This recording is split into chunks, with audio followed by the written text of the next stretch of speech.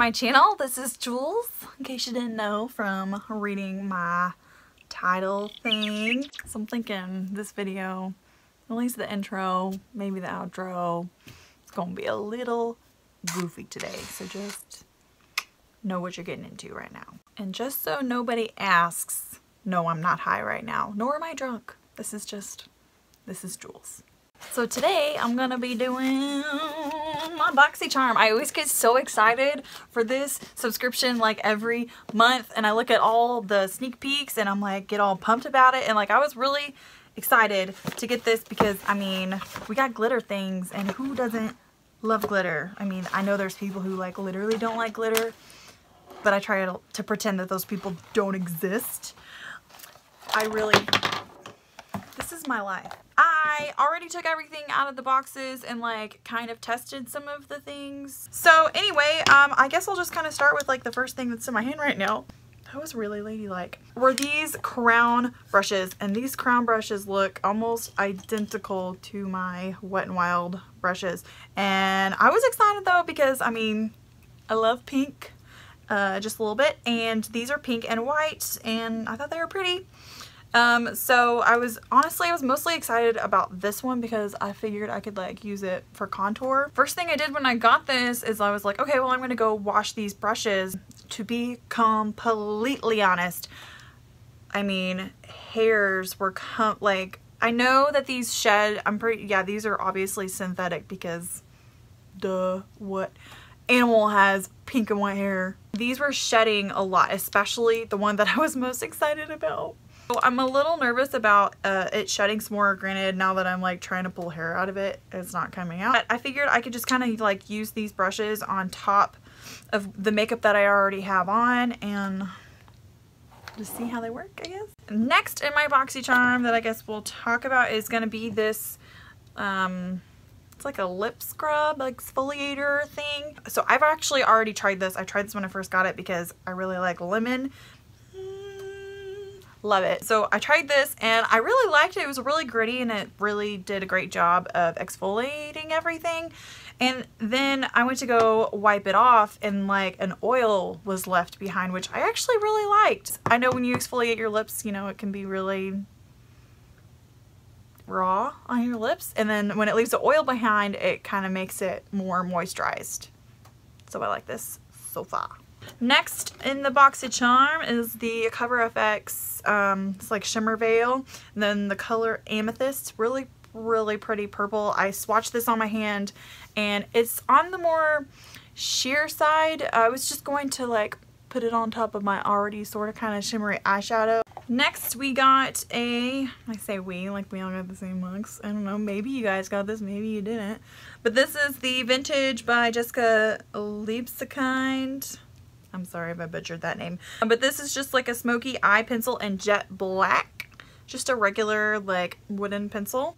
Lastly, I was not too thrilled about seeing this in my BoxyCharm. I honestly would have much rather gotten the Ofra magnetic palette because I have some eyeshadows just like chilling that I needed a palette for and so then I got this and I was like god I have, already have so many highlighters I don't need any more but um, this the color scheme it kind of reminds me of my Anastasia one which I guess in the sense they're both kind of like holographic-y. This one's obviously way more holographic, which I can appreciate. I feel like the colors are really similar these just look darker in this one. Like this purple that's in here, it really isn't as dark as it looks in the pan. It doesn't apply like that. But this is really chunky and I don't really like this all the time. So this, when I saw this, I was like, man, another Anastasia palette. I mean, Aurora palette.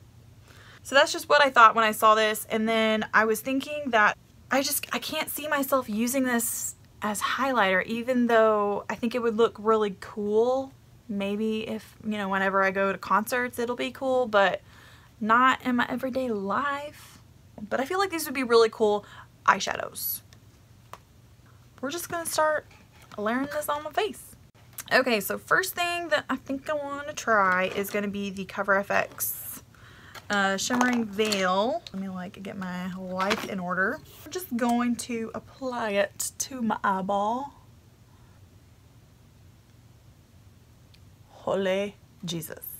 This is so pretty. And it's not like wubba bam. It's just kind of like more subtle. It's not like a crazy, crazy purple. I'm feeling it. I am feeling this. This will, this will get used. Because I feel like some of the things I get in my BoxyCharm, I'm like, mm, I guess is like kind of nice to have, but am I really going to use it? Probably not. Next, I guess we can test out this eyeliner. So we'll just, it's already sharpened. I'm just gonna try to put it on on top of this, even though I already have mascara on. Oh, don't do this. Do as I say, not as I do. I know I'm stretching my eye. I would never normally do this. It's only happening because I have mascara on right now. Yeah, this is kind of hard to, it's kind of hard to put on. Not gonna lie. Now we have glitter all over it. Tools. Oh well. I really feel like this eyeliner probably would have done better had I done it before I did mascara because she's rough over here. She's really, she's rough. Uh, so I guess now I'm just gonna try it in the waterline and see if it does anything. Definitely not that jet black like they said. This is not the look for me.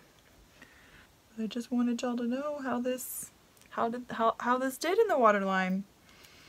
Now we're gonna try and use the brushes. I'm just gonna use my Shade Light palette and I'm gonna try to use the, the smaller one, the one I was excited about, and I'm just gonna be dipping in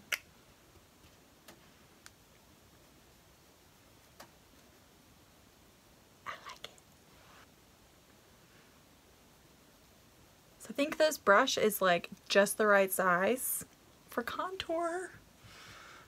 And it's not, my other contour brush that I've been using is this e.l.f. one. It's just, it creates a really harsh line on my face and a lot of times it's really hard to blend out. I think this, since is more fluffy, see, oh look, look, look, look. More hairs are falling out if this brush dies before I've gotten sufficient use out of it, I'm going to be really upset. Okay, so this one definitely going into my regular face collection, whatever. What are we going to use this one for? Pow regular powder? We're, we're, we're not doing this in order. It's okay. I mean, we did eyeshadow and then contour and now we're doing powder. So I'm just going to dip into some Coty Airspun and we're just gonna cover up all that contour I just did and all the, the highlight I had on. That's fine. I don't know. I feel like this is just like a good powder brush. And then this one, I was kind of like disappointed when I got this because I don't, let me see if y'all can tell. Do you see how it's like slanted like this? Did it, is it supposed to be like that? Because it seemed like it was like that because of the way it was put in my box. And even though I washed it, it just kind of stays like that so it's crooked and I don't know if that's a good thing or if that's a bad thing. I'm going to use this as a highlighting highlighting brush right now. We're going to, because we need to use this. So, you know, we're just going to dip into we're just gonna dip into this cool one right here.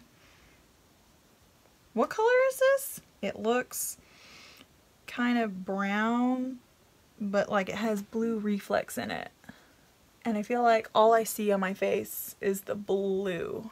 Let's go into the purple and we're just gonna put purple on my nose. Can y'all see how crazy that is? I feel like I have a lightsaber on my nose. We're just gonna, let's make this more intense. Let's just do this. If we're just, if we're gonna highlight with purple highlighter, we're just, we're just gonna do it. Let's do Lello. Lello. I don't know why I think I'm a child right now. That's kind of pretty. This is probably one of the more wearable colors out of this. like at least as a highlighter. I mean, all of these are like good eyeshadow colors and these are really sheer so you would have to wear them on top of like regular eyeshadows. And then I'm going to dip into that purple and we're going to put it on top of this purple eyeshadow I already have on my eye. Yeah, it makes it look more, more metallic less glittery, and more purple. Does that make sense? I feel like, what was this collection called? Let's, let's talk about that. Galaxy Glow. Very appropriate. Super appropriate for this. So I guess I can just do a rundown on the prices of everything now. So this palette retails for $39. I would not pay $39 for this. The Shimmer Veil, I'll put it away already. Here, this retails for $28. The eyeliner retails for $21. I feel like you can get a high, an eyeliner for Maybelline a little bit better, but this, um, the lip buffer is retails for $24. Brushes retail for like $29.99. Which I guess if you think about this one's probably gonna be a little bit more. So if this one's like 12, this one's like 10, this one's like 8, it's $30. They're okay. Uh, they're okay.